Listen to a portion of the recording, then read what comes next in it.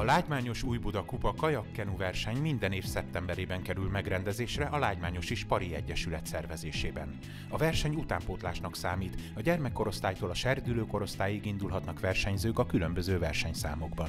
Lágymányos Újbuda Kupa kajakkenu verseny. Szeptemberben találkozunk.